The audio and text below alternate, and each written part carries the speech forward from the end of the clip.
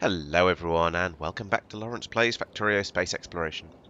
I had a slightly shorter stream than normal uh, th this week, um, partly because, well, I missed the original slot for my stream because I was busy, and then so I ended up moving it to Thursday. Uh, when I, let's just say I wasn't feeling very well, I'm, I'm still still fighting off a bit of COVID, so I didn't get quite as much done as I normally do. However, there's still a fair amount to talk about over here on on Trelos, where I've been doing some um, where I had, let's just say I had some interesting times with the uh, the biters. So there've been, there are a number, still quite a few biter nests scattered around the map, as you can see from the from the radar here, um, and the pollution cloud is not exactly small, and there are a few places where the biters are still invest, are still getting uh, increased by. it. They're they're spreading out back into the pollution cloud, basically, is what I'm trying to say. So that meant I kept having sort of some relatively small attacks, but because there weren't any defences here at the time, those attacks were quite destructive. So the biters would typically get in. For some reason, they'd always get into the middle here and then destroy some inserters and some belts and some pipes, but not so much the machines. And they didn't take out the uh, the massive mining drills, which is where I would assume most of the pollution is coming from. Um, 200 per minute, in fact, from those.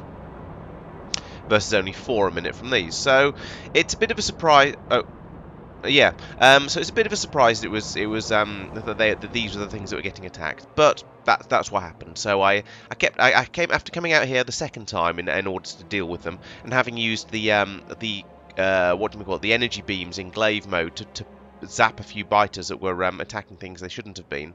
I decided that enough was enough. I was going to come in and actually defend the place properly. So I slapped down blueprints for um, all of these turrets round here. These these are just simply laser turrets because I know I'm going to have plenty of power available because I've got this full gigawatt of power available here, um, potentially from the from the um, thermal generator. Uh, from the beam generator, sorry, and that is, and we're only using about 40% of that in normal use. So the other 600 megawatts can be used, and, and these these things use what um, four up to four megawatts each. So I've got six. If I've got 600 megawatts available, that's like 100 and, 150 laser, laser turrets at once that can be firing. I don't think we're going to get that sort of level of biter attacks. It's not that bitery planet, at least certainly isn't at the moment. And I think I've still probably got, yes, I've still got the energy glaive down here, trundling around, finding biters to destroy. And the energy glaive, or the energy beam, is extremely effective at taking out biters. Um, as you can see how quickly it took those worms out. Um, and it will then automatically track off and find another set of biters to attack, and then another and another and so on.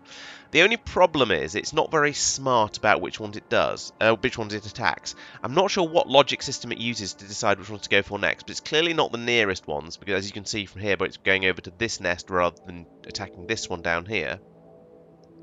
It's also not doing the ones that are closest to the stuff I, I care about because there's these ones up here which would be, it'd be much nicer if it would attack these ones first because these ones are actually a danger to my base. So yeah, there's probably some lot. Well, there must be some sort of logic and system behind how it chooses what to attack, but I have absolutely no idea what it is.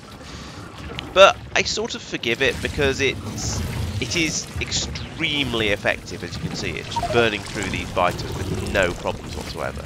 So, given enough time, it will eventually wipe out all of the biters on this planet, I think. Um, or at least all the biters on the explored parts of the planet. So, it's, it's pretty good. I'm, I'm happy to leave this just, just running around on its own, now that I've got the actual... Um, defences round, round, the, round the base over here. Now, yes, there's a lot of this that hasn't been built up yet. The spaceship that's flying out here, I have. I've, if I find the um, the Trelos chunk ship, which is this one, I've put on the ship. I've put in this um, green uh, green chest here, which is requesting lots of the different bits and pieces that are needed to keep that uh, in order to build up the the, uh, the outpost and to repair any damage that gets done to it as well. So the main thing is we've got loads and loads of turrets, loads of stone wall being requested. the turrets are mostly fine. They're getting picked up from the space station, I think, while the ship's um, refueling. The wall it unloaded so quickly on Nauvis the first time that didn't didn't actually pick any of that up. But I'm hoping that the robots will have brought some wall a bit closer. And now it'll be ready and will be dumped in much more quickly the next time. But we'll see how that goes. To be honest, it's not going to be the end of the world. If we don't have the wall of wall, then the wall of lasers will probably be sufficient. And these are getting brought out. So it does seem to be working okay. This ship, as I think I said in the previous episode, is kind of working in the opposite way to most of my other um, chunk ships. Normally, they'll fly out to wherever they're getting the chunks from, then fly to Nauvis, then go to Nauvis orbit for refueling, works nicely. Um, it gets all the, it means it gets the fuel it needs. It, it get, it, it, it just happen, I happen to do it in that order, and it and it works. So I haven't changed anything. This one, however, because Trelos is such a big planet, there isn't enough fuel in all in these tanks to take off from both Trelos and Nauvis without a refuel. So what this one does is it, it uh, goes from Nauvis orbit where it refuels, then it goes to land on Nauvis to unload, then it flies off to Trelos, and that takes about, when taking off from Nauvis, uses up sort of 40% of the uh, fuel in these tanks. And then on Trelos, we're turning the excess oil from the uh, from the core fragment processing here into rocket fuel using this large system of machines over here. And that fills up these tanks down here on both sides of the ship. These get filled up with rocket fuel while the ship's away. And then when the ship lands, we can dump that fuel into the ship in order to give it enough to take off from this planet and fly back to Nauvis orbit. Um, and so far that seems to be working. Um, it's a little bit arbitrary at the moment in that I've just said um, I've just I'm dumping as much fuel as I can into the ship and then just seeing what happens. So there is a chance that we might have a balance problem where we're producing the chunks too quickly or the fuel or the rocket fuel too quickly and either these tanks will fill up or these warehouses will fill up. I think more likely to be the latter looking at these because these are getting a little bit full so perhaps I need to try and use up a bit more oil, a bit more oil somehow. Perhaps by putting in some more machines across here just to generally speed everything up. But that said, at the moment, it is working well enough. Things seem to be okay. Um, there's just a risk of the whole thing of, of, of us running out of oil because these machines, uh, these these these warehouses fill up, everything backs up, and we stop generating oil. So we'll we'll see. And at the moment, it's ticking over okay. I put these tanks in quite recently, which is why they haven't had a chance to fill up yet. But if you look over here, these ones are have a decent amount in them. Um, I should probably wire them all together and find out how much I actually have. In fact, let's do that quickly. There we go. So we've got, on this side, we've got 360,000. On this side, we've got 50,000. So it's a little unbalanced, but that's fine. What does the ship actually carry? It's disappeared off my radar. uh, it's gone in. Basically, it's gone off and landed somewhere, so I can't find it. Um, so the ship can hold a total of 600. So at the moment we don't have enough fuel to completely refuel it, but I'm not expecting it to arrive completely empty. And at this point, these, these this system should not be filling it up completely because in theory, oh, there it goes again. You see, um, the plan is that I've set up these numbers to get almost the minimum amount in out of these tanks, so that I can get as much from Trelos as possible. Now, we'll wait. And, I, as I say, I need to keep an eye on this and make sure I get the numbers about right. Um, if we do start running out of oil here, then I can have it come out with more rocket fuel in its tanks from Nauvis and fill it to slightly less full from these tanks. So there is there is a certain amount of space for for playing with it, but I want to try and I, I, I want to I, I, need I need to basically I need to make sure it, it's reasonably balanced and that the and, and that the system works essentially. But that seems to be going okay in general. And when the ship comes back, we'll have all, we'll obviously have all those extra lasers we need to finish off this wall round here and uh, and have the place a little bit more protected. But at the moment, it seems to be working. I saw an attack come in earlier and it didn't manage to penetrate, so that's that's a pretty good sign. Another thing I've done while I've been in all all the time I spent on Trelos was I had I explored around inside this um, this pyramid, and uh, this is the third, fourth, something like that, one I've explored. And so I came in here expecting it to be a bit of a challenge, but actually with the uh, lightning gun, with my um, uh, with with my handful of personal laser defenses and all these jetpacks I've got, actually I made really really quick uh, work of the biters in here. I didn't need didn't need nukes, didn't need anything. Just went in there with the with the, that that this and the lightning gun and just completely wrecked them. The uh, the box here had a tier 9 efficient no tier Tier 9 efficiency module, I think, which I've gone and stuck in some somewhere, I think probably on Tulip, but I can't remember exactly. Um, I, I, found a vague use for it anyway. The, the uh, efficiency modules are not quite as useful as the rest of them. But that, I think, does means I've now achieved pretty much everything I wanted to on this planetoid. Um, we've got a supply of core fragments coming through. They're doing they're coming through pretty quickly. Now, maybe I want to do have things maybe I want to double this up a bit, actually.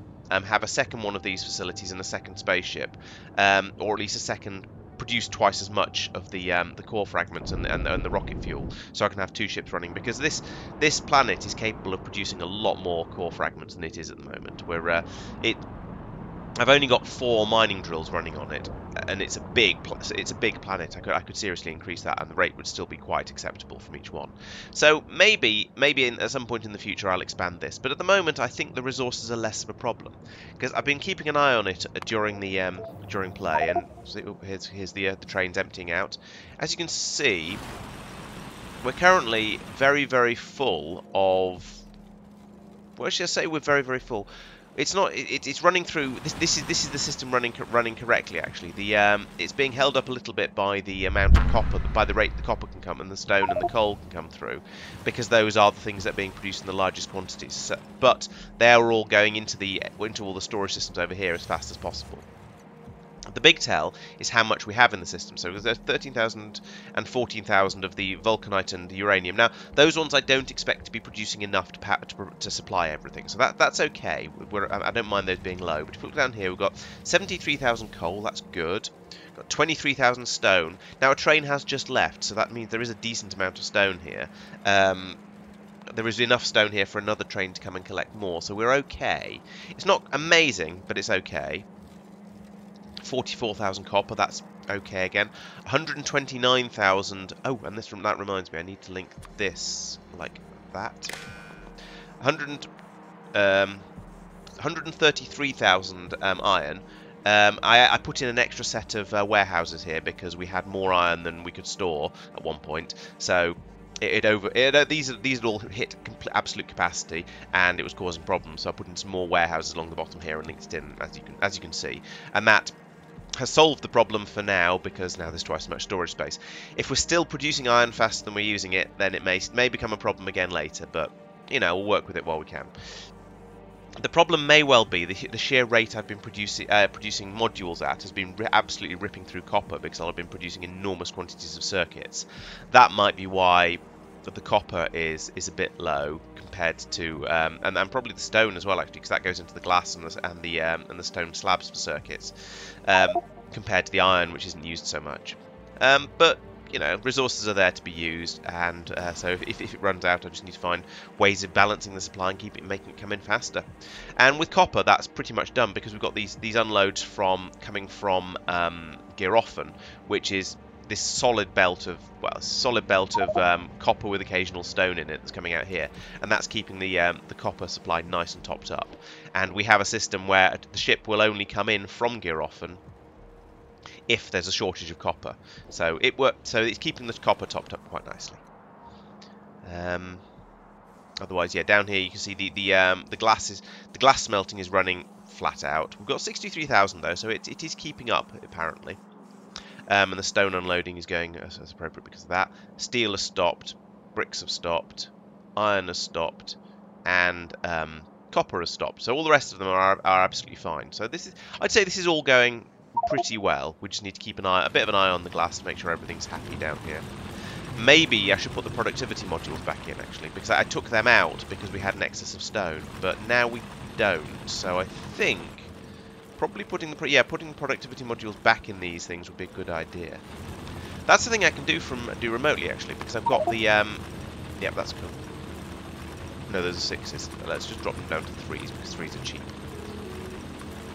Okay, so with this with this with this mod, um, the module inserter, you can remotely add uh, modules to machines like this and this, and now the um, the construction bots. Oh, and this as well. Oh, um, they're apparently I don't seem to have it programmed for the air crushers as well. Let's. Uh, well, actually, I haven't moduled these crushers either. Um, oh, they're the same thing. Um, I should probably should though. So again, I can go in here with the module inserter. I can find the crushers, which is that one, pulverizer rather, and get that one upgraded as well. So now, if I get the module inserter, drag it across here. Um, they're not being not, not being moduled. I don't know why not. Let's do these ones as well, though. Okay. Yeah, pulverizers. Hmm. I don't know. I don't know why that's not working, but I'm not going to worry about it too much. We should have...